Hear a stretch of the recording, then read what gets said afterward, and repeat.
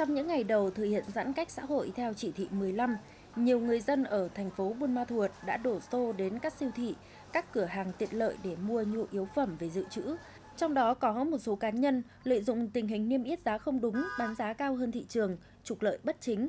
Vì vậy, sau khi nhận được tin báo của người dân, tối 18 tháng 7 năm 2021, lực lượng quản lý thị trường Đắk Lắk đã tiến hành kiểm tra đột xuất cửa hàng Bách Hóa Xanh, đường Ngô Quyền, thành phố Buôn Ma Thuột, thuộc chi nhánh công ty cổ phần thương mại Bách Hóa Xanh. Tại thời điểm kiểm tra, lực lượng quản lý thị trường phát hiện cửa hàng này bán hàng không niêm yết giá và bán cao hơn giá niêm yết. Ngay sau đó, lực lượng quản lý thị trường đã lập biên bản vi phạm hành chính những hành vi trên để xử lý theo quy định.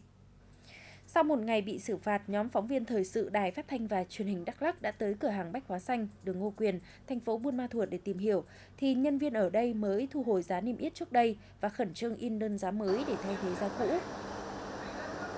Thì tình hình dịch đang căng thẳng á, nên cũng hy vọng là các tiểu thương với là những cái nơi buôn bán như này thì giá sẽ bình ổn một tí để người dân còn có cái cái cơ hội mà để mà mua sắm và vượt qua được cái mùa dịch này chứ mà giá mà nó cao quá thì thật sự cũng gây khó khăn cho người mua sắm đó.